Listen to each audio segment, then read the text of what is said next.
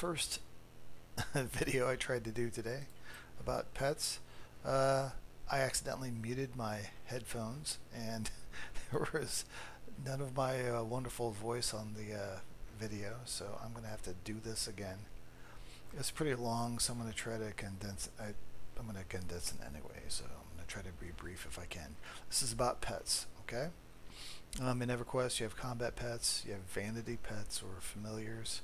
Um, and uh, sometimes the familiars will have a, uh, a buff that's connected with them, but you can choose to have that buff or have the pet auto dismiss by clicking this auto leave button, which I usually do. And because this has a buff that I do, um, this right here, because sometimes I'll unclick this and I'll have this little gargoyle guy following me around because he matches my merc. So, you know, there's that. Um, uh, let's see. Okay, that's just a little preliminary thing. Okay, pets. Let's really focus on the combat pets here. I'm a. The character is a necromancer. I have a pet illusion on this guy. Um, he's my rogue pet. I use my rogue pet on trash mobs, and um, I use my tank pet on uh, names. Uh, and uh, sometimes if uh, you have a named in a certain area, it has to be kind of an area where you can uh, charm something fairly close by. It's usually, it's not usually that difficult though. Uh, if you charm something and uh, use uh, the silent casting, and then you go after the named with that, um, it can usually hold aggro well enough for you to finish killing it. So that's one. But usually I don't mess with that. I just use my tank pet um, for anything that I choose to do. There's uh, uh, enhanced minion items. Okay, the first thing I want to discuss is how this works. When you have spells to cast to summon a combat pet that you want to use for your hunting around in this virtual world of Norrath, um, uh, the Necro has two different pets they can summon. A Beast Lord has just one pet they can summon, um, and a Mage has a choice of four pets they can summon. Um, the Necro, the point of view I'm taking, is a tank pet, and we have a rogue pet. The rogue pet is higher, the spell is the highest level. It's on the last, uh, the whatever X pack, the current X pack, the max level is 115. That's when you get your rogue pet. Tank Pet is 112. Um, these are static. These are always the same. Back in the day, used to be your conjuration skill was included, was a factor in summoning pets, and you could summon and resummon a pet until you got a little higher con pet, a little higher level pet, uh, and that would that doesn't work like that anymore. They're they're static. They're always the same. Um, this rogue pet you could cast it as much as many times as you want and it's always going to be the same level same power same everything. This one the warrior pet's going to be the same way right these two pets differ from each other but I'm just saying if you get you know you can't increase the level by recasting it or anything. Um, this increases the level. And how it works is it has a buff. You just have to be wearing this and it's enhanced minion and this will increase the power of, of your combat pet when you summon it, as well as your casted swarm pets. The skeletal horde, whatever, it's the spell that you cast for your swarm pets. Those are influenced by enhanced minion also. And when you summon a pet, it's because you're summoning it. When you use the AA, these right here, the Wake Dead, Rise Bones, these, these right here, these three, it's all purely based off the AA level, but not so for your swarm pets over here. That's, they are influenced by this. Um, what happens is when you summon a pet with this on, it gives the pet a cloak or a back item that um, adjusts the pet to uh, the power level that uh, is appropriate for that uh, enhanced minion level that you have on the gear that you have on your character. And uh, this is also why the armor on that uh, cloak, if you will, is notoriously a little low. So if you try to put a shield or a, a cloak or back item on a summoned minion of yours that's from, uh, you know, try to put some, uh, an attunable version of, you know, some sort of attunable uh, shield, it'll put it on and it'll totally screw your pet up. Uh, so you don't want to do that.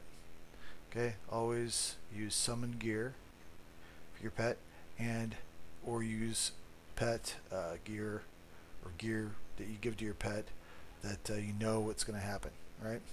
How does the pet choose what to equip um, or what to wear? It if it's a, in an armor slot, it has it has one ring slot, it has one ear slot, and then everything else in one wrist slot, and then everything else is identical uh, to your character portrait here as far as slots, except it has no charm slot and it has no range slot. Excuse me. Oh, I'm very sorry.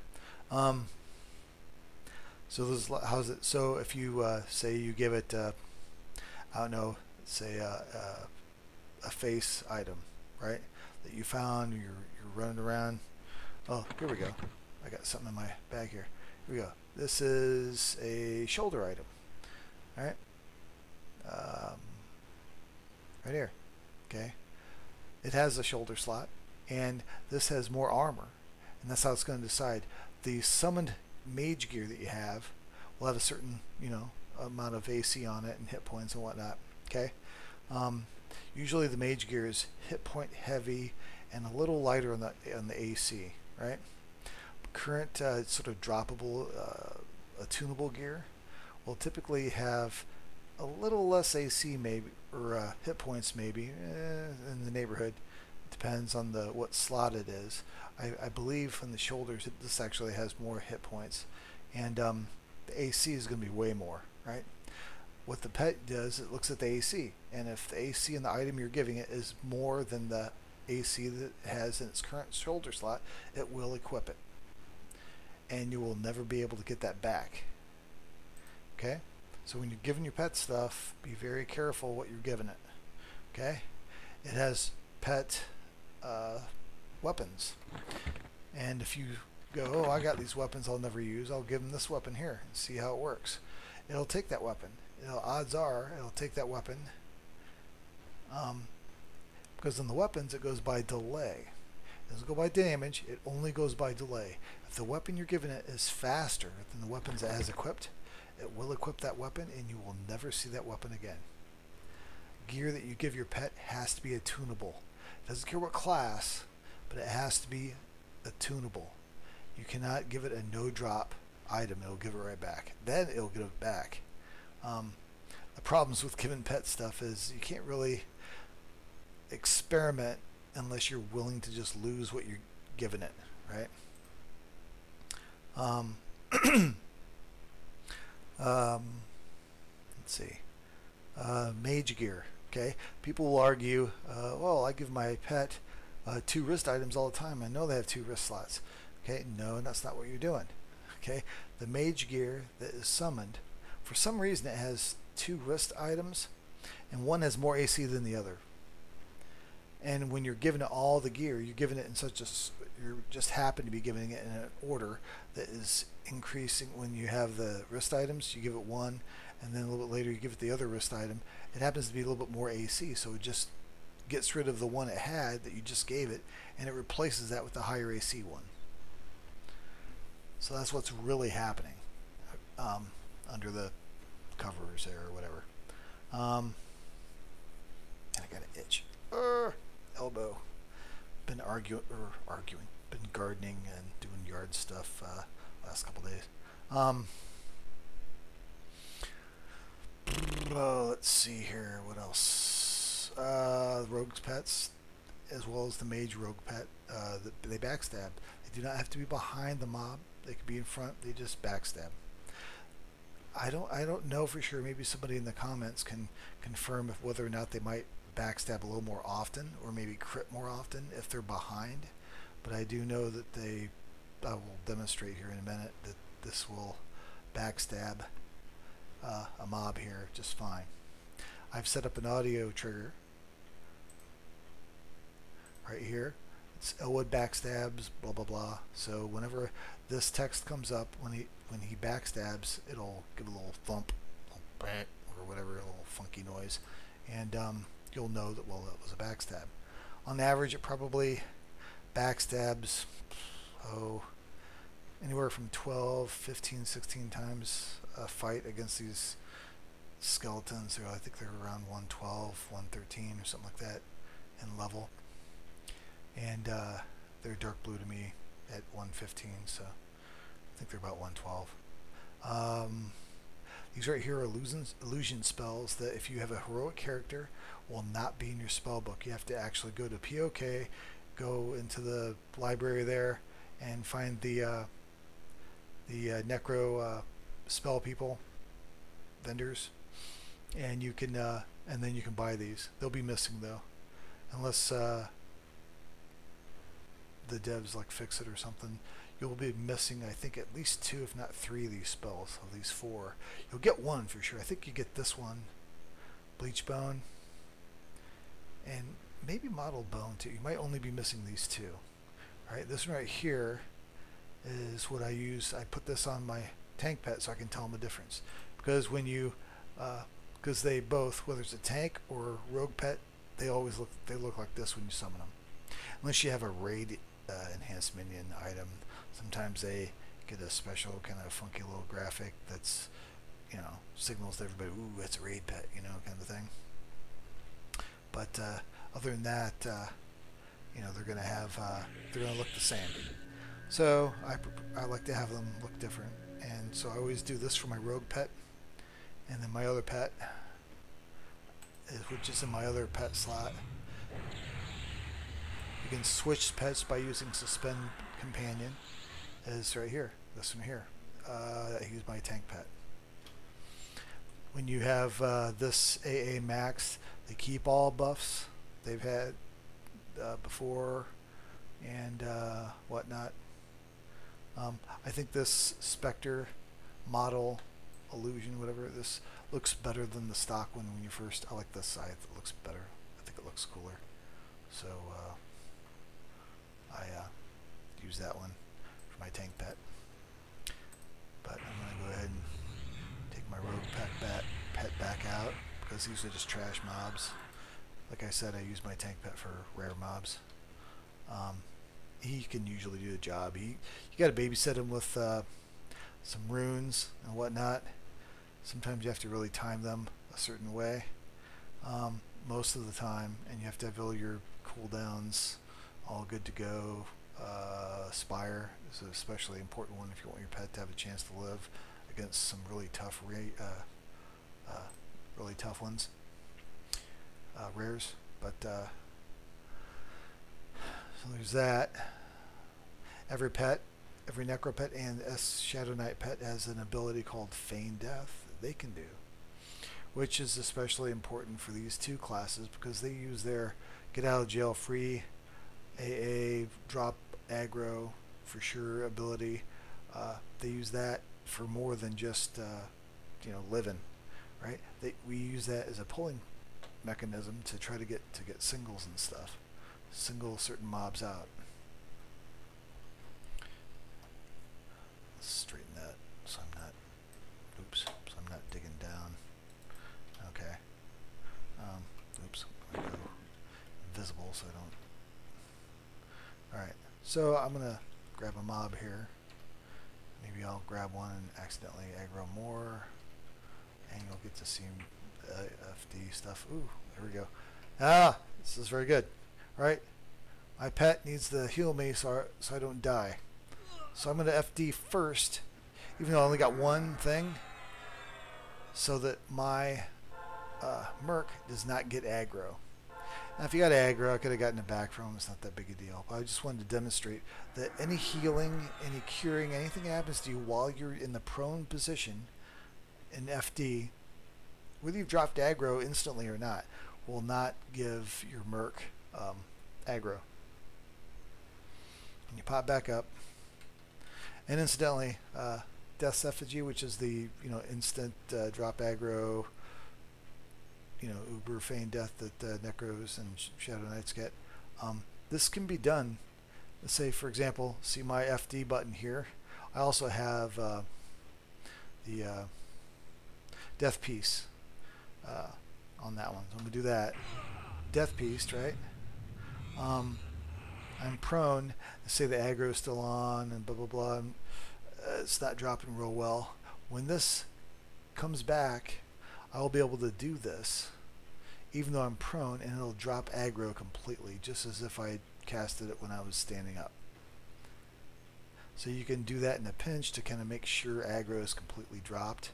Uh, there's certain situations that you wish you your DE was still active, but it was down. You can just kind of stay down here as long as you want, and even if you think this death peace is not going to take effect, you can go ahead and hit that again, boom, and that'll completely drop the aggro just as if you did it like like before. So I got it there. Um,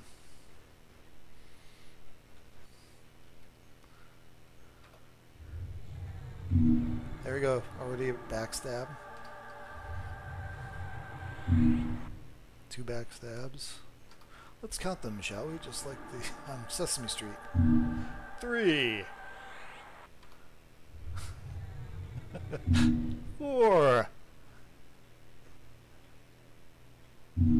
Five. Five backstabs. Ah, ah, ah. Six.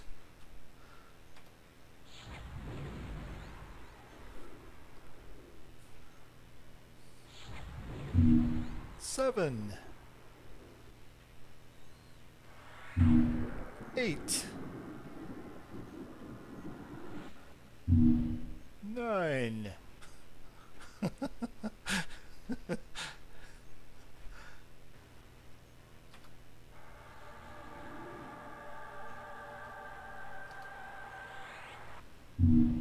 Ten.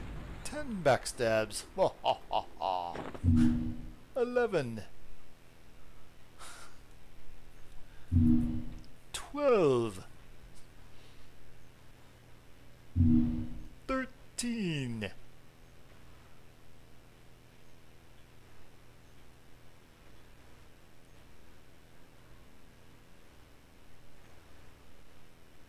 14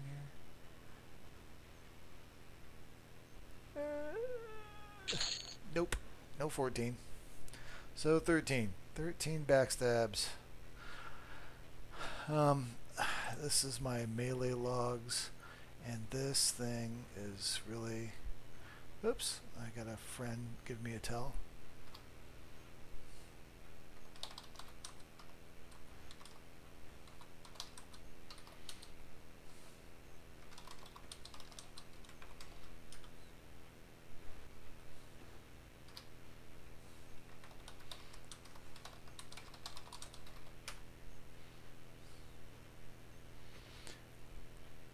Uh, yeah, haven't seen that guy in a while. Drizadu. Little Forgotten Realms fan there for Dritz.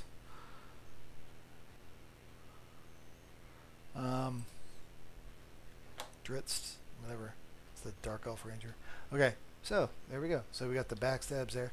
Backstabs will range in, uh, as a general rule, I've I found like on these skeletons here, um, for crits, they'll crit maybe anywhere from three to five, six times ish or so.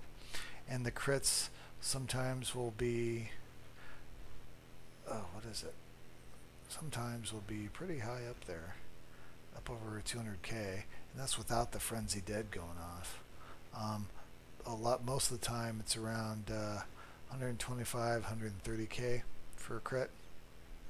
Uh, normal hits are around it 15 20k something like that I haven't actually paid attention to the normal hits um, I'm intentionally keeping moving on my snare I got frenzy dead uh, embedded in the macro but I'm intentionally moving so it doesn't activate so that I can uh, get a better sense for the damage. I'm just going to do it again here real quick. Um, another thing about pets. Okay, we covered the pet gear. Uh, the feign. Uh, let's, you know what? Let's try the feign stuff, right? Here's what we're going to do. I'm even putting dots on, right? I got this oh crap button that will feign myself and my pet at the same time. Let's do that. See how this is going to work. Hopefully save my pet. Oops, sorry. Okay, now that mob is attacking uh, the other little baby skeletons there. Now he's attacking my merc. This tells me that it, with Feign Death there are two checks that are given.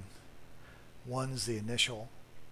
If, it, if you fail the first check, which almost never fails for the pet, um, at least max level and max, you know, skill level uh, for pet discipline, you get this pet feign through pet discipline AA.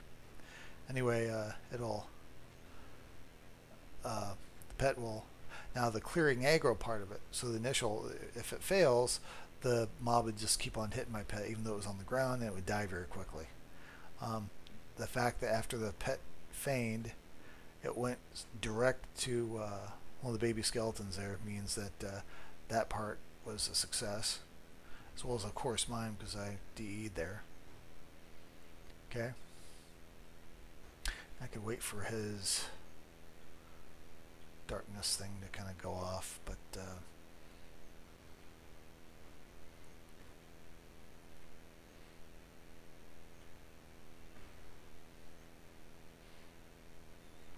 I see I'm getting the aggro back. Why? Because there are dots on him still. If I was to get up right now, he would re-aggro.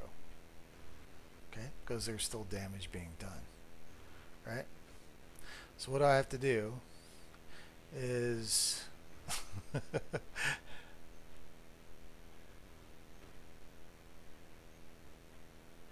wait for him to walk off. He's going to walk it off, Bubba. Okay, he's going to walk off.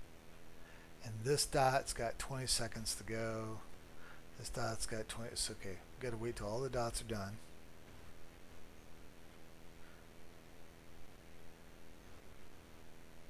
Okay, because the second I stand up, you see he's on the list over here. He's going to come at me. He's going to bring some friends too, probably.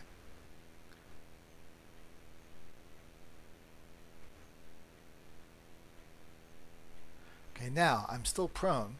All those now these debuffs are going to matter, right? I'm going to FD again. This button is going to activate this skill. There we go even though I'm down, this you can still activate this to drop aggro fully again if you had happen to have dots on something, right? So I'm going to get up. Now what happens if my pet actually failed to drop aggro on the mob? If I just have him stand up by hitting the sit button again, he may not have dropped aggro, right? So what I'm going to do is I'm going to summon him to me, which which is a surefire way to drop all aggro he may have attained through a fight. And in this macro, I have him stand up. And sure enough, he stood up, and there's no aggro on him at all. Right? So uh, that's how I use Pet Feign in a, you know to save my pet in a oh crap situation. This is not good I shouldn't have never tried this. I'm in over my head, but I don't want a Levant. Or maybe I've tried to a Levant and um, the portal was, you know, collapsed. You know how it fails that sometimes. Um, and I'm like, oh, I could gate, but that's, you know, that requires a lot of traveling. I'm going to hit my oh crap button and wait five minutes on my Merc, but my pet and me will survive including the pet gear on my pet and having the hassle of having to put know, pet gear on it and stuff. I'm not a mage, I'm a necro. Pet gear is important to me. And even though, as a general rule back in the old school days, uh, Necro pets were kind of disposable. At least the way I play, I don't consider my pets disposable. I use them much more mage-like, and I use them to tank. The extra damage they put out is a lot is very much underestimated. If you just root and rot mobs versus pet tanking a mob, you kill that pet you kill that mob way faster than if you just put dots on it. So that's how that works. Um, so pet feigned, you know, you can think of various different ways to use it, I suppose, in pulling. But the way I pull, um, because I've I always have G hold on and everything like that. So the pet, unless I send it in to attack, the pet's never going to get aggro. It's never going to get on the list yet, right? So if I get hit by a spell, or you know, I've done something to tick off the mob because I'm pulling, and I want to, and uh, other mobs come when I FD using this. This has a level range right here. This FD is five levels. If it's higher, if it's six, if a mob is six levels higher than you, this will do jack squat and you will die. You will not drop the aggro. As a matter of fact, I, I think you you don't even pass the first check in a typical FD. You fail everything, and the mob will just keep running at you. Somebody might check me on that. I'm not completely sure, but I'm pretty sure that's how it works. I've actually never tested that. Um, let me see here. What else would I want to do? We did the backstab thing. Just trust me on the tank bet. Tank bet is uh, tougher. Not quite as much DPS. I would say I kill mobs about 10% faster with my rogue pet. I just think they're kind of cool.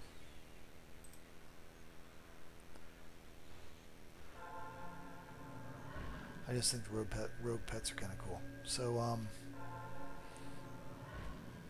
my buddy might have come and find me. Nope, Dritz Do is somewhere else. Um, told you how enhanced minion works. Told you about the gear slots. Um, ah, okay, here's another thing. This right here, a necessary buff, in my opinion, that everybody should be using for their, unless they're, unless they're aggro kiting. I hate kiting. I don't like kiting. That's too much moving around. Too much work, right? I either want to, if I have to root and rot because the pets are super weak and whatever new X pack is up, and I have to root and rot to survive to get levels for a while until you know I, I get the next pet coming up at, at the appropriate level. That's fine. I'd rather root and rot and just sit and watch something just slowly die than actually. Uh, actually kite stuff and go faster. It's too much work. This right here is a buff that will add a life tap to your um, pet and it does 6500 damage which is no slouch. This is the extra in addition to whatever mage procs and also in addition to the life tap procs that all necro pets have. So you have one life tap proc from this, you have a life tap proc from the actual pet, which I think at this level is around 10k. This will heal for like 52k every time this procs. And then you got the damage procs from the mage weapons. All of that is in addition to the kind of lame pet taunt. Um, stacks a bunch of aggro. Bunch of aggro on, on mobs and uh, you know, you are good to go with pet aggro. Um, I always have that. I have that uh, with the pet attack. It's cast 9. Q-Pet Swarm will send any extra still alive uh, swarm pets you have active into a new target. This right here is the Fortify Companion. So on pet attack, it, if this is up, it'll cast this on when I pull something with, with my snare button if I'm stationary for a moment, because this has like a half a second cast time or a quarter second, something like that, it'll cast this. But if I'm moving, it won't cast this. Occasionally, I don't want this to cast, but most of the time I do. Um, so that's that. I already told you about the Call Skeleton Horde. It's influenced by Enhanced Minion. If you don't have an enhanced minion earring on at the time or your enhanced minion is uh, lower and you use it and you're used to how this is working then when you get an upgrade for instance, your enhanced minion earring you might notice a slight little better difference uh, when you're casting this spell here because this casted swarm pet spell will be influenced by enhanced minion. Um, I think that's about it I want to keep this a little shorter than my first video that has no audio because my stupid headphones were muted because of my sausage fingers, I guess, whatever. Um, I think that's about it. I'm going to try to put out more videos. I think this is kind of fun. Uh, and uh, if you can think, if you have any pet questions about how combat pets work uh, for a mage or a necro, I don't know much about Beastlord pets. Uh, mage and necro is my main experience, so I know a little something about those and uh, how they work. Some stuff I don't know. The good amount of stuff I do know. What I sometimes what I think I know is wrong. So please feel free to correct me if you know something different and you're sure. Um, I'm not going to get all crazy with it and demand proof or any kind of crap like that. You know, I mean, think you're right, yeah, just throw it up there, and you know, we'll see. Um, have a good one. See you in Norrath. Have fun. And uh, get vaccinated. All right. See you.